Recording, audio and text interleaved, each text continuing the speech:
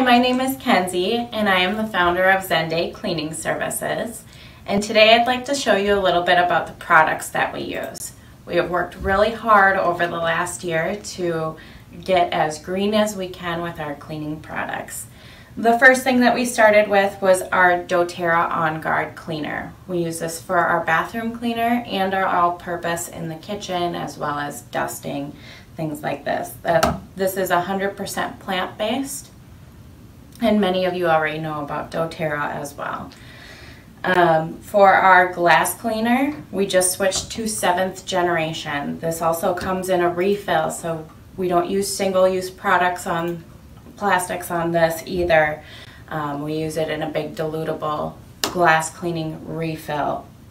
It is also bio-based as well as our floor cleaner and our tub and tile, which are also seventh generation. Our biggest thing was cutting down on the single-use plastics. We don't like to use a spray bottle and throw it away or recycle it. We like to use it again and again and again. So we got rid of our scrubbing bubbles and things like that and only refill our spray bottles using these jugs. The floor cleaner in itself can make 128 gallons, which lasts us months. Our tub and tile also gets diluted and lasts us about a month or so. These are both 99% bio-based and perfectly safe for kids and pets, which is super important.